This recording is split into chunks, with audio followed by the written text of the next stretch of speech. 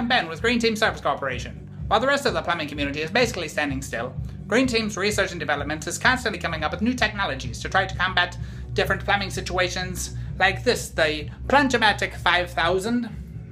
And uh, my toilet doesn't work, it doesn't flush.